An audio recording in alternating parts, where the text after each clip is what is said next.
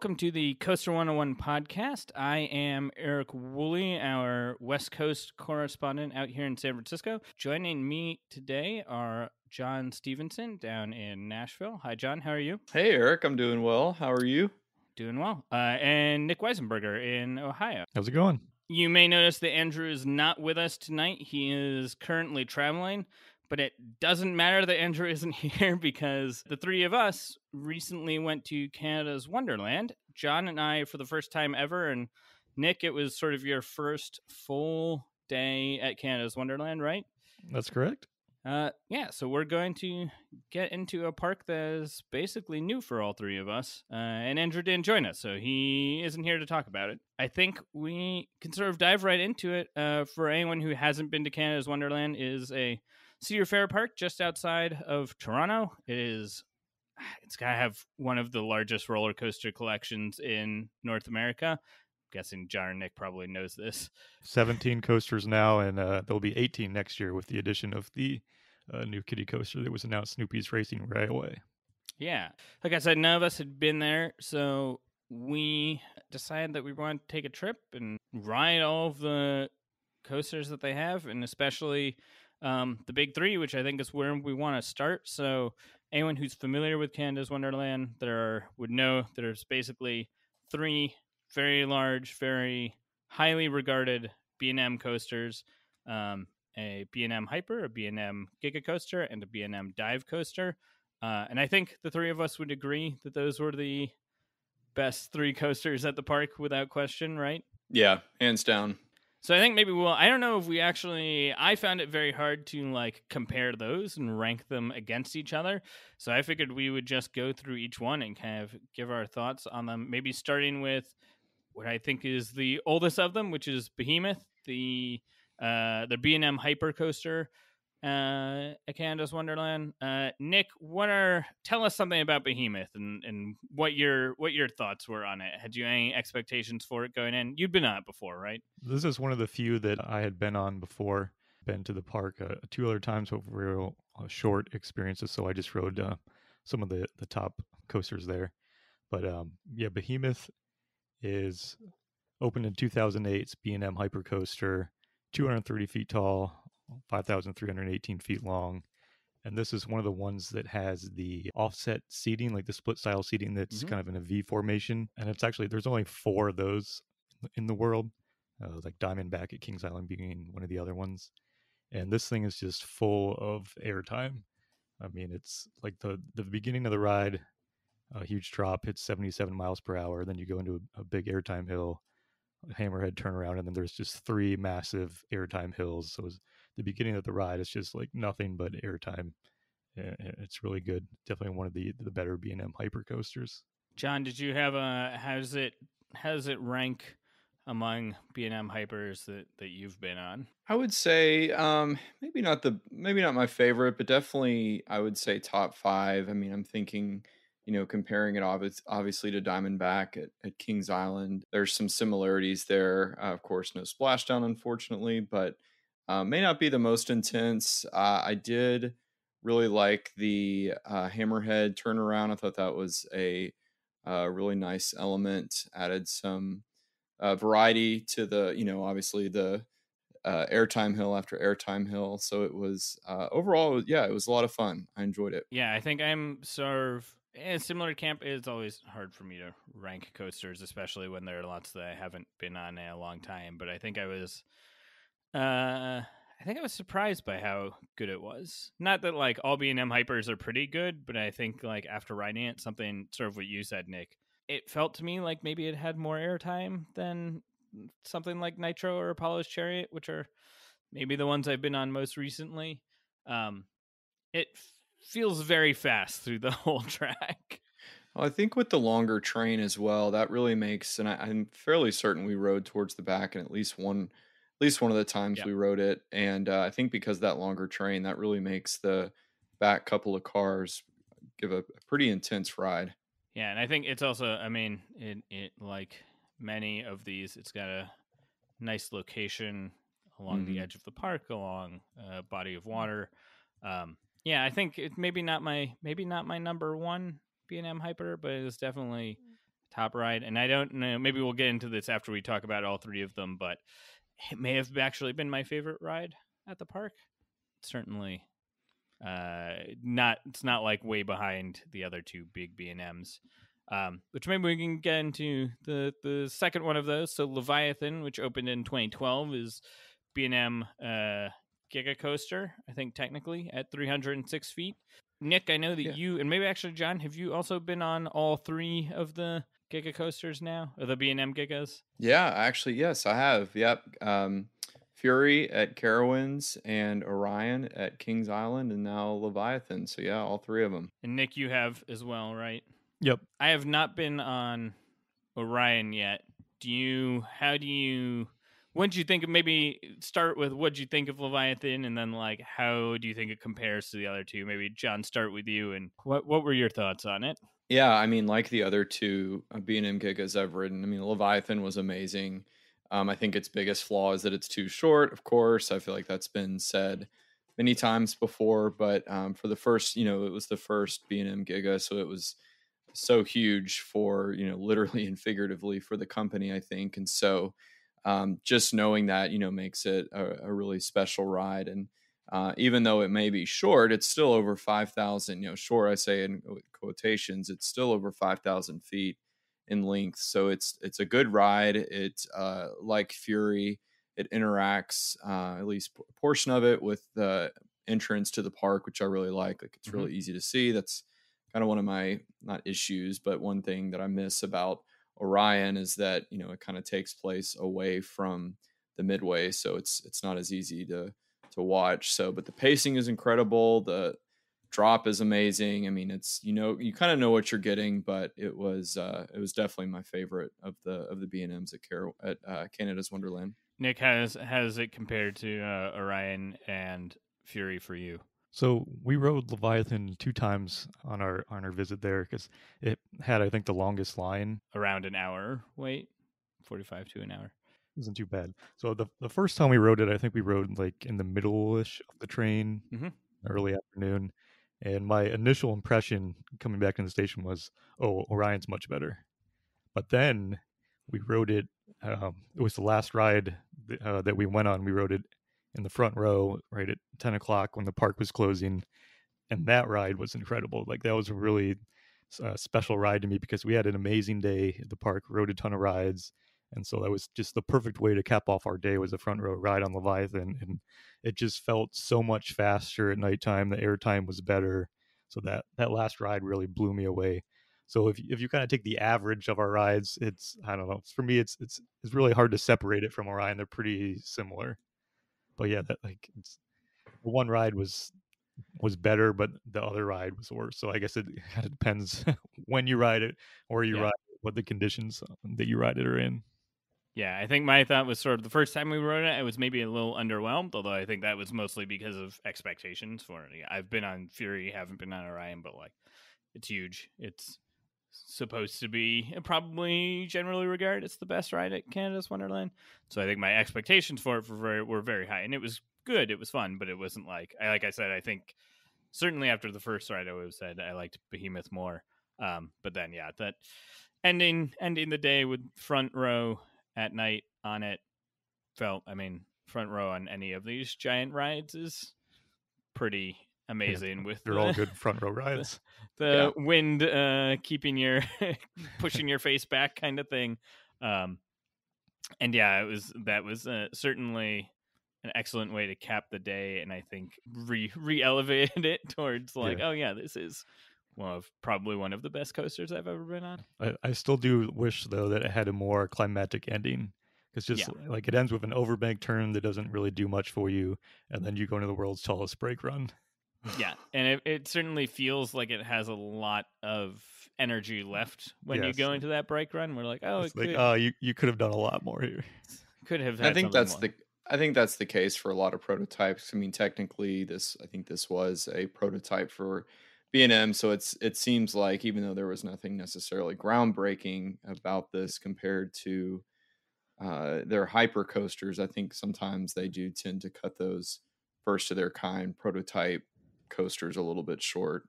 That's a good point because I think if you look at like the lift hill, the way the lift hill is constructed is a lot different from the hyper coasters because like the chain return isn't it its own like separate channel. The the chain returns inside of the spine, and like the spine of the track is actually used as part of the support structure and like an arch shape going all the way to the ground Yeah. instead of just being held up with the columns.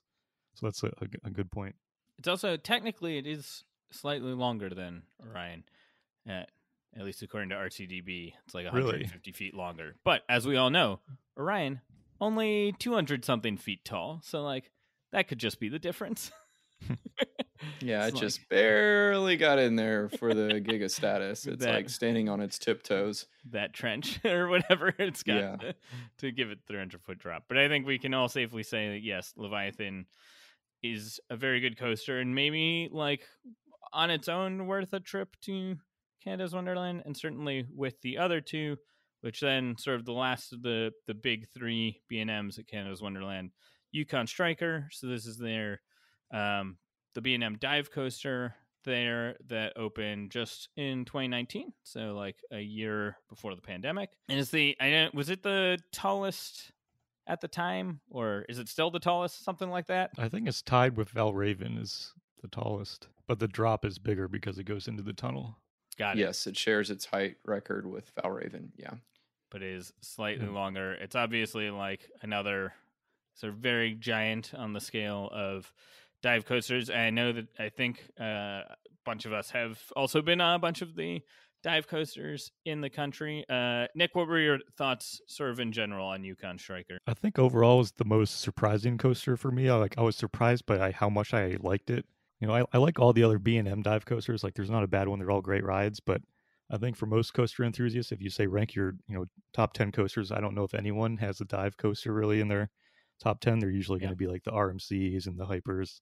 I'd been on uh you know Valravn at Cedar Point was the most recent dive I'd been on, which again like it's a g- great ride. But if you're going to Cedar Point, that's probably like the fifth most coaster you're looking forward to. There's probably like four other coasters you'd rather Yeah. are looking forward to more than Valravn. So, uh, you know, same here. Like I was looking forward to it because it was the the newest big coaster since I had uh, last been there. But Yeah. it was still like a dive coaster. But yeah, I was really surprised by by how much I liked it. I would even say that it's probably my favorite dive coaster overall. The dr- first drop is huge. I love how it goes through the vortex uh, track and the the underwater tunnel, and then Yeah. it goes up into that massive 183 foot tall inversion, third tallest inversion in the world, apparently.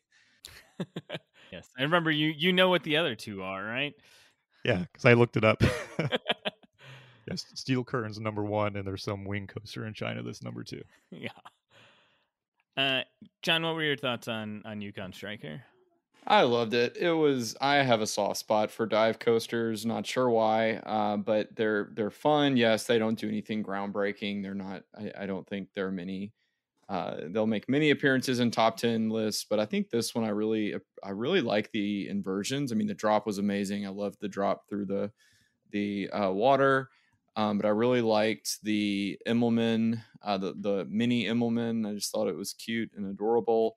The vertical loop i think is one of the first ones on a dive coaster if not the first. So the, it's the only one at least in north america right that's what i thought and it's interesting because it you know with the trains as wide as they are i just never thought we'd see a vertical loop on a on a dive coaster so maybe that's why they went with the eight across trains instead of the 10 seat acro- 10 across.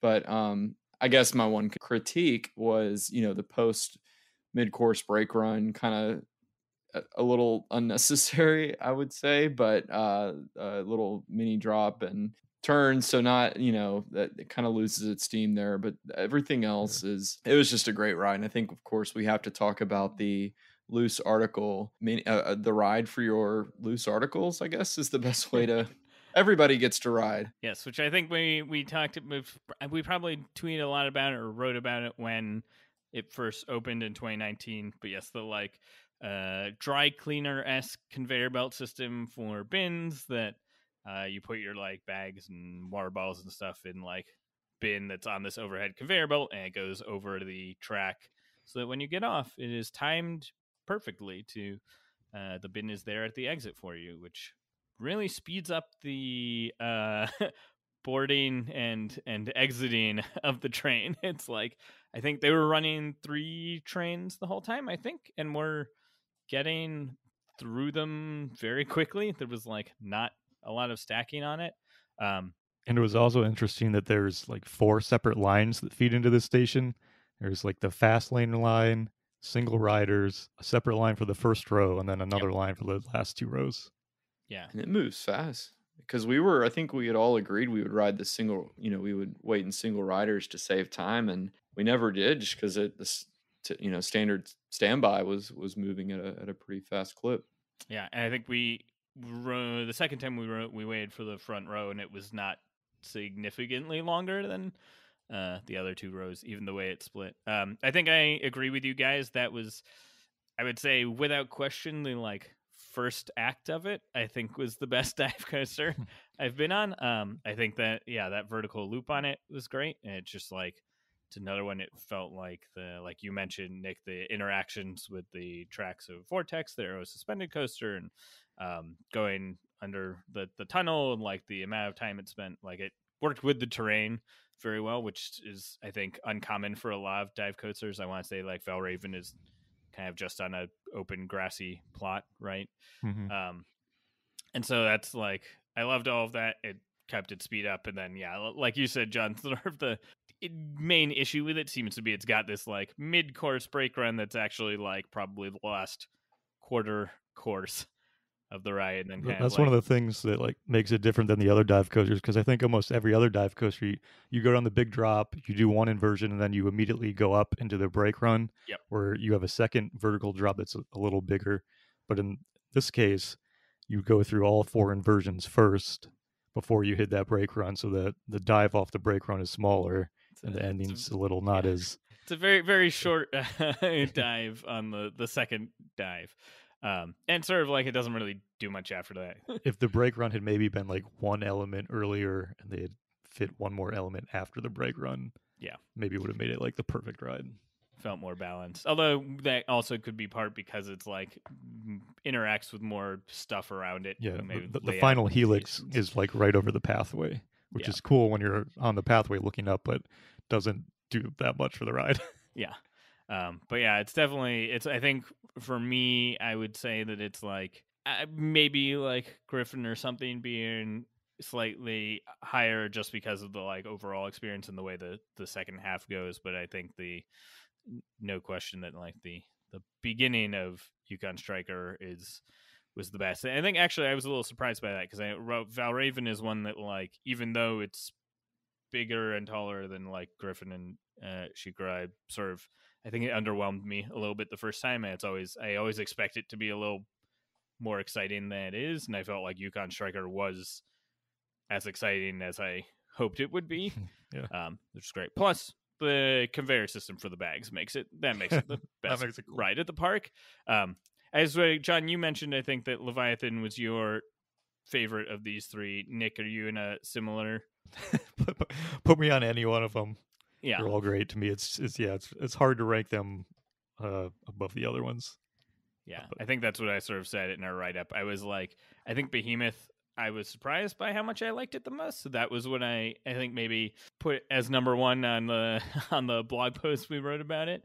Um, but yeah, I think put me on any one of them. They were all great. That night ride on Leviathan maybe put it above the rest, but that isn't fair because yeah. it was a front row last ride of the night at 10 p.m. or whatever. I guess so. Other than these big three, are there maybe starting with you, John? Like, were there any other coasters on the like 16, 17 coasters? Were there any that uh, stood out to you as surprises or that you didn't know about beforehand and like now it's one of your favorite coasters? Um, I and honestly, that's kind of where I struggled a little bit with ranking my top five because I think obviously the B and M's are the standouts there, and then once you get beyond those, I, I, guess the standouts to me were Vortex, which I had no idea its layout was so close to the to the bat, if not well, it's very very close to the bat at Kings Island, which I love. Um, Wonder Mountain's Guardian was unique, not necessarily a, a you know a, a, incredible attraction itself, but the concept was uh, was interesting. Um, I love Backlot Stunt Coaster, all the other two, so I was glad to finally ride the the uh, third one. And what else? Um, Thunder Run, the powered coaster, that was that was fun as well, being kind of incorporated into the mountain. So I guess those were the standout ones. I mean, they it, it's such an interesting mix of rides. Um, I could go through most of them and kind of point out something, but it's hard to really rank the f- ones after the B and M's because none of them really stood out to me as being just. I, I've got to go get back in line for this. Nick, do you agree with that, or there are ones that you did want to go back and get in line again? there were a few kind of mid-tier average coasters that were they were all right, but yeah, this is one of those parks that it's not you know a Dollywood or a Busch Gardens Williamsburg where you could argue that you know there's no bad coasters there. This is a park where like the best rides are really good, but the worst rides are really bad. uh, yeah, that's fair. We can we can talk about that in a minute, a little bit. But yeah, like uh, John was saying, uh, I always thought that uh, the Bat at Kings Island and Vortex at Canada's Wonderland were the exact same layout, but they're actually slightly different. So that was uh, cool to find out. And uh, the the length of the train is different. I just the the vortex feels more like swingier. Like there's more side to side motion. Like especially when you hit the brake run at the end, it seems like there's less dampening. Like you're still swinging back and forth for longer than you are on the bat. Yeah, I think we so we had there was ERT for pass holders um, that morning. Vortex was the only coaster available in ERT, so Nick and I rode it twice in the morning. I feel like the second time, I don't remember what row we were in, but I feel like when we got into the station, we were swung a full 90 degrees. yeah, yeah, I think um, we were we rode the second time in the front and yeah, we were really swinging. I think we sw- like had more swinging in the front seat than we did the first time we rode which was in the very back seat. Yeah. Um and I think I agree with you on that. I was like I know I guess I'm I know lots of people have fondness for the bat. I haven't been to Kings Island in a long time. Like I remember liking it, but don't remember like thinking it was amazing. Whereas I think this like to me, I think Vortex was clearly the fourth best coaster at Canada's Wonderland. I was surprised, but I mean, I I ride Ninja at Six Flags Magic Mountain relatively often. Like I like all of these suspend coasters, but there's just what four suspended coasters left in North America, something like that. Yeah, and I was must protect like, them. This really stood out to me as being like I think the best, probably the best one yeah. that I've been on. I was sort of I was very surprised by. It. I think it's also benefits um, like we said with Yukon Striker interacting with the Vortex track, the Vortex track uh, interacts with the Yukon Striker track a lot. It mm-hmm. also goes up the back of um, so Canada's Wonderland sort of main centerpiece. The equivalent of the Disneyland castle is this Wonder Mountain in the middle. Um, and Vortex, the lift hill goes up yep. the back of it, and then it sort of goes over the top. It goes underneath um, Wonder Mountain's Guardian. Yeah. So you're just swinging through all these coaster supports over the water. It's really cool. Yeah, it's got. So I think that is maybe part of it. That's always as we as we know from any ride. Like if you go past a lot of stuff, it always feels faster and uh, more more thrilling. So maybe it's that that makes it. Maybe maybe the stats are all the same, and it's actually just that that made it feel that way.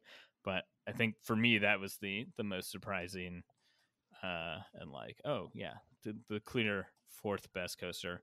So, John, you mentioned Thunder Run, and I think that was um, the the one that I was also like at the end of the night. That's what I or in the end of the day. That's like the one I wanted to go get a second ride on, which is this powered coaster. I think it's a, it's a Mack powered coaster from 1981. I think it's the only one of this kind in North America, um, and I assume the the only one of its kind that was ever in North America.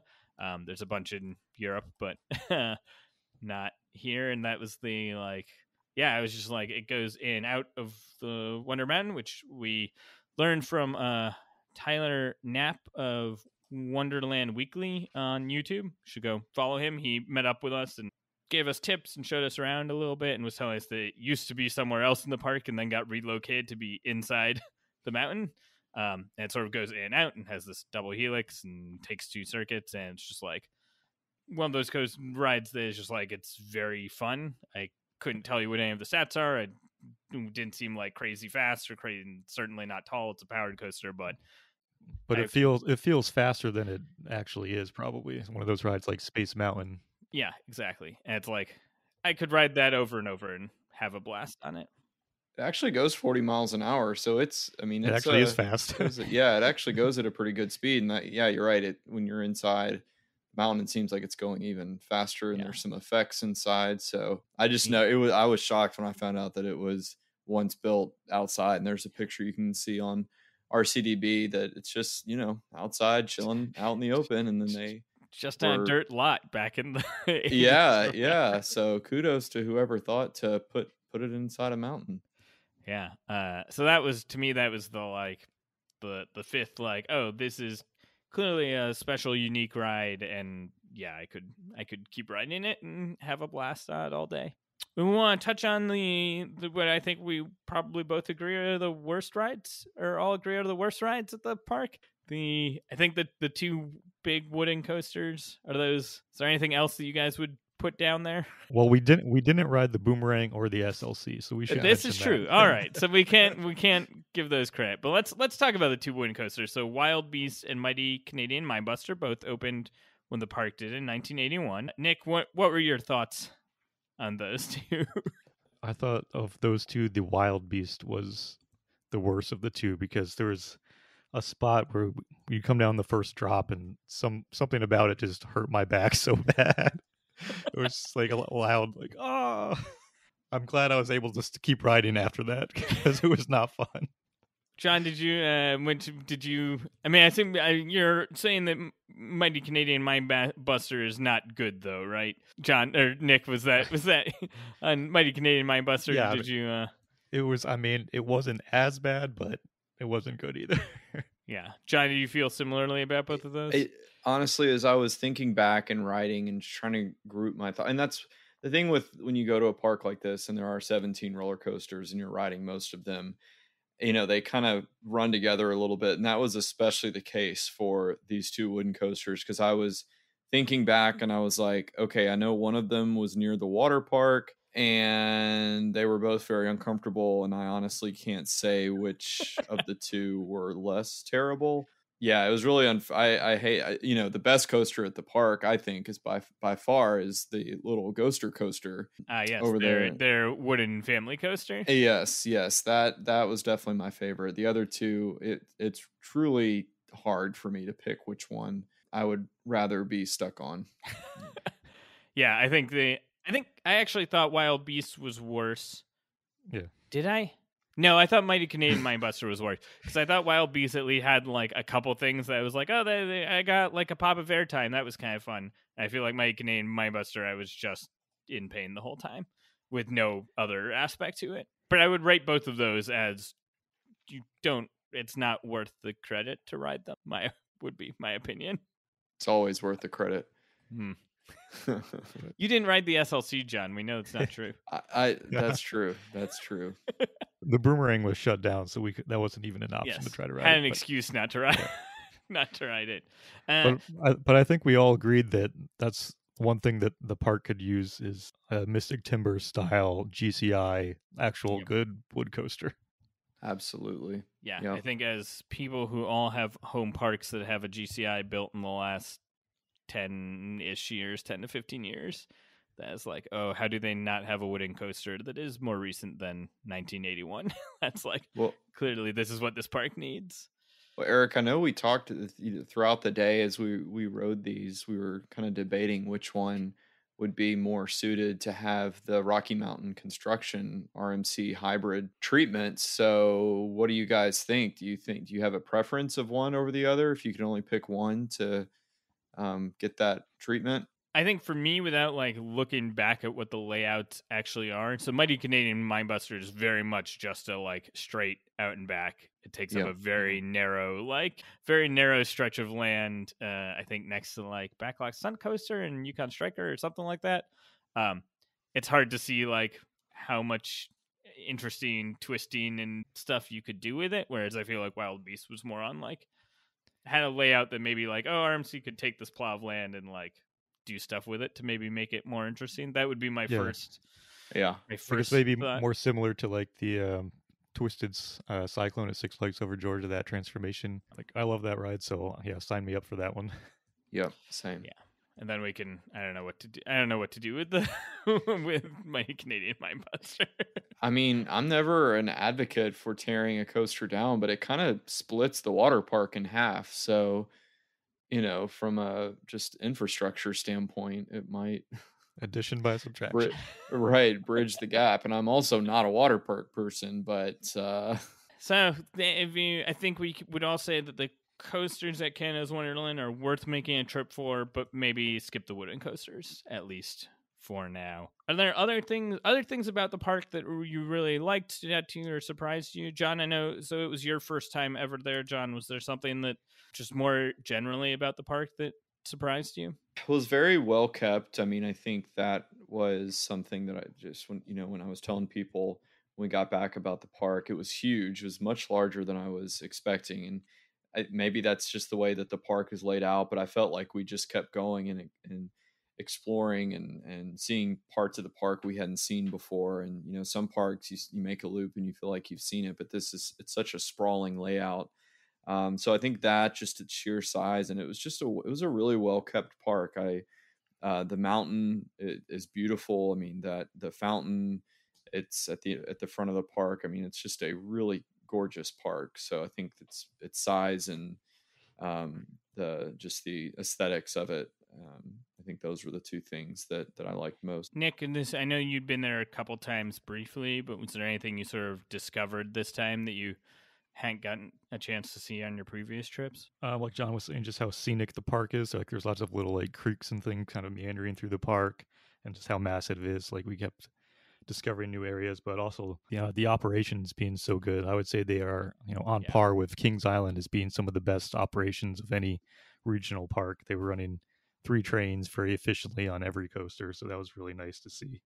Yeah, I think I would certainly second that. I don't know if it's because they're like Canadian or because they're next to a big city or something, but like was very impressed that even on a what seemed like it should have been a crowded uh, Sunday in early August, like feels like it should have been packed and like was certainly not empty, but uh, Leviathan, like we said, had sort of a 45 minute to an hour wait, and that was by far the longest all Yeah. day. I think I don't think we waited more than maybe 20 minutes for anything else. There were a couple walk-ons. I think we did like 23 something rides throughout the day, and that's without getting fast lanes. So we had debated like the night before, should we buy fast lanes or not? And I, I'm glad we didn't because those are very uh, expensive, but we definitely did not need them Yeah. yeah. We, we did 20 something rides with without fast lane, and that's also with taking you know two meal breaks and another snack break and, And, stopping to take lots of pictures and things like that. and lots of long walks, as we said, big part, Yeah. especially we going back to the kiddie area of the park. It's like, uh, it's very far set back from Yeah.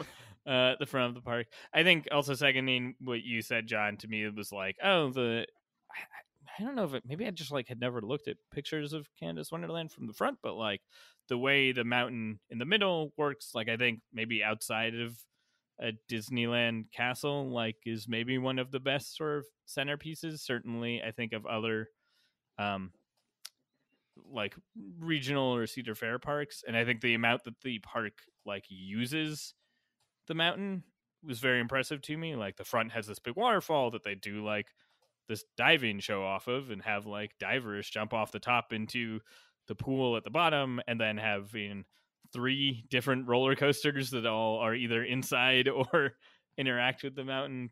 Uh, Thunder Run being on one half, and Wonder Mountain Guardian kind of on the other side, and then the Vortex on the back going up and over to the top. Um, and sort of, I think there's still other space in the mountain that like maybe they'll do something with someday.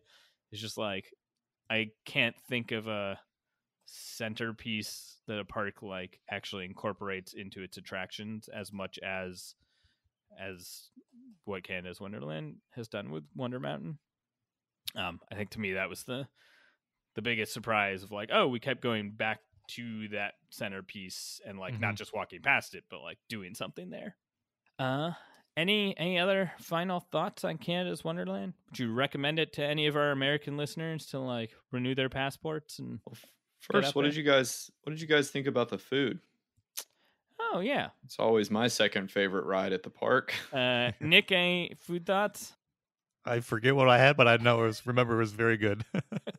uh, yes, I think I remember appreciating a few that like there was some diversity in options.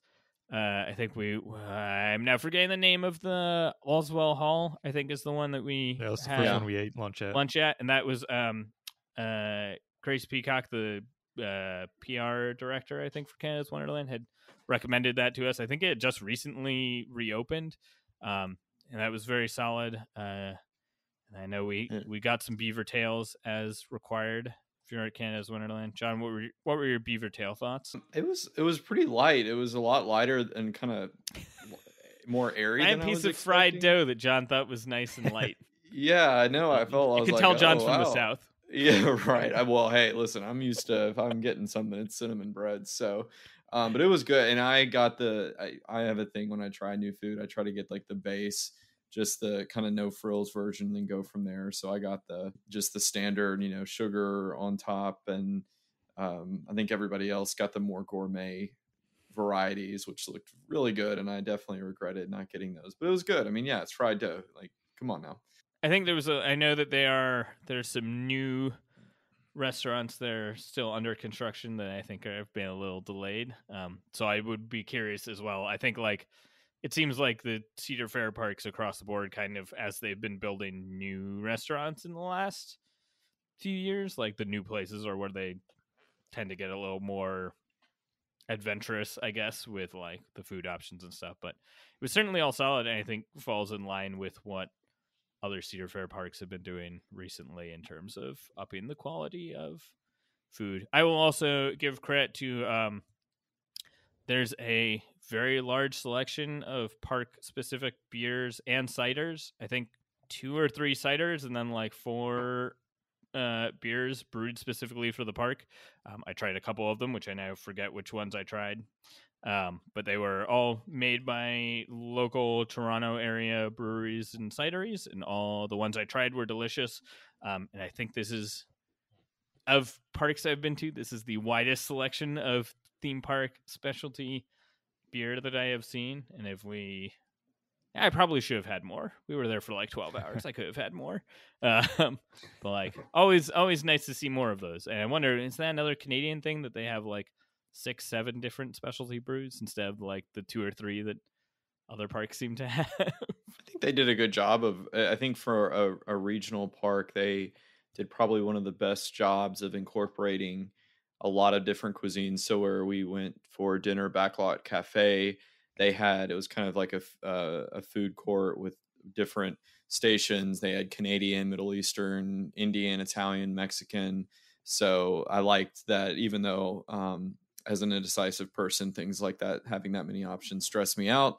it was still really cool to see all the different uh, types of food being cooked. And I went with the lasagna, which was amazing. So it was just, it was a really diverse uh, menu, really ac- across the park. any other any other thoughts, Nick? Anything else about the park you want to touch on? Yeah, I think there's there's two more things we should t- touch on. Uh, one is Wonder Mountain's Guardians. So that's one that I had been on before when I visited the park, but it was new for uh, you and John. So what were your guys' thoughts uh, on that dark ride coaster combo? So I was on the bad side of the car where you get the non-continuous screen and there's some breaks. I also had been um, because uh, a company that did Wonder Mountain's Guardian also did Voyage to the Iron Reef at Knott's Berry Farm, which recently was replaced by Knott's Berry Tale. Um, and one of my issues with Voyage to the Iron Reef was was not coaster like, but had very similar screens. It Was just like the quality of the animation felt very dated, like immediately.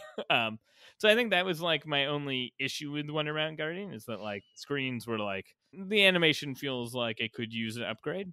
Um, but I appreciate that it felt more roller coaster like, and especially like Uh-huh. beginning of it, it's like a roller coaster. Um, There's four seats and they you sit back to back. So there's two people facing forward, two people facing backwards. You go up the hill, go down the drop. Then you go inside the mountain. That's where the cars rotate to face either side, where then you're facing screens. But one side is better than the other because one is a continuous video screen, even around the turns, where the other side is the screen is broken up like and just Yeah, flat the, pieces. the corners are just sort Yeah. of like blank, which I think we talked about. Like, oh, they could put some like physical props in those corners and it would make it feel much better.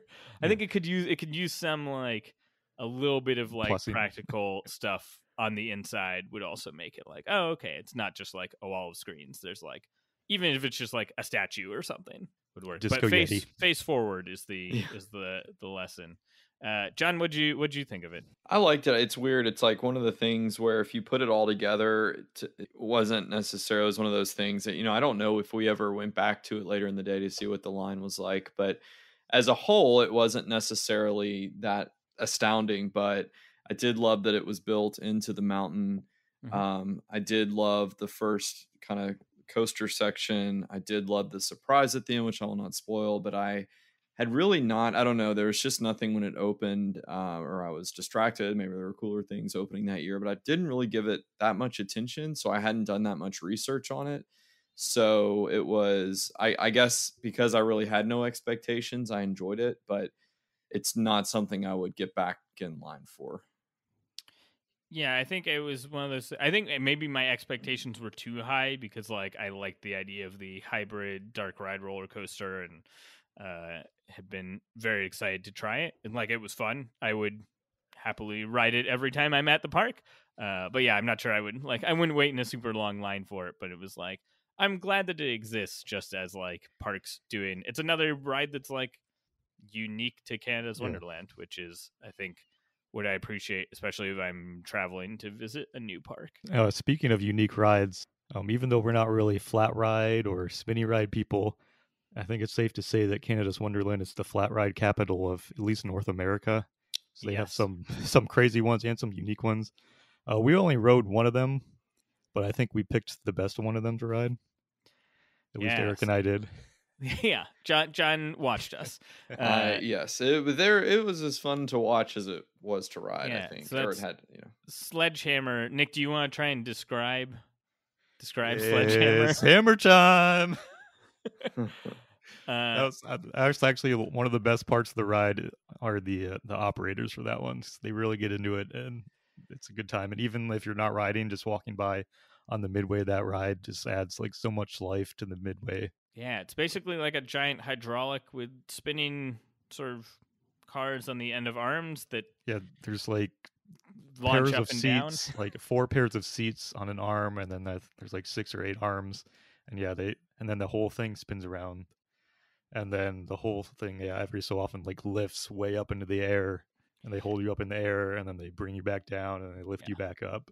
Look up look up a video of Sledgehammer at Canada's Wonderland. We'll link a video uh, uh, in the, Yeah. uh, the show notes. um and we it is it was sort of i think i mean nick i i think we had similar experiences writing it that like not actually that bad spinning we're pretty sure even if you don't like spinning nick and i don't Yeah, love yeah. spinning rides but are tolerant of them but it was like relatively gentle but then when the arms dropped was like a A big thrill. Yeah. fantastic feeling like uh excellent driving you know they're not dropping a Yeah. huge distance and they're like not it's not like going doing anything crazy but it was just like oh this is so exciting each time it does it Yeah, well, I mean, we kind of waited towards the end of the day to ride it because I was I was nervous about doing it. Like, oh, is this going to make me sick or something? Yeah. But it was actually fine, and like I'm I'm really glad we we did it because I loved it.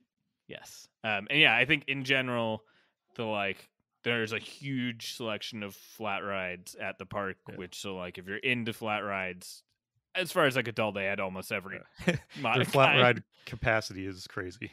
Yeah, and both like recent modern ones as well as like more older classic ones. So, um, which um, probably also helps keep the coaster lines shorter to have that many uh, different flats taking up people. Yeah, I'm, I- like I can't even think of another park that has like half as many flats as they do.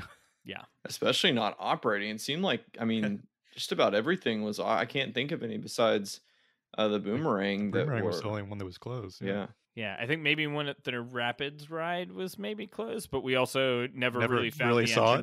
to the Rapids ride. So I think it's like way back behind the water park or something. Anything else that you want to touch on, John? Overall, just a really fun park. I think uh, definitely uh, make the trip out there. Um, I, th- I think it's I think it's safe to say it's a full day park. Um, yeah, it's beautiful. Really enjoyed it. Um, it'll be interesting to see what the next. Or the, I guess that. What do you guys think? I know Eric, you mentioned the need for a, a wooden coaster. Um, Nick, what do you think? I mean, what what is this park missing? Like we touched on, yeah, they could definitely use the uh, actual good wooden coaster. I mean, even addition by subtraction is getting rid of some of their lower capacity, you know, worse experience coasters and replacing them with modern coasters like they've been doing is a step in the right direction. Um, they don't. Well, what about launch coasters? I think Backlot's the only launch yep. coaster, so they could use definitely a, a modern uh, launch coaster. Which I guess they're getting another launch coaster next year for the and the family coaster, but maybe even a, a higher tier launch coaster after yep. that. Yeah, I feel like uh, launch coaster and wooden coaster, a good new wooden coaster, kind of the only things. I mean, it's got they've got obviously a large coaster selection.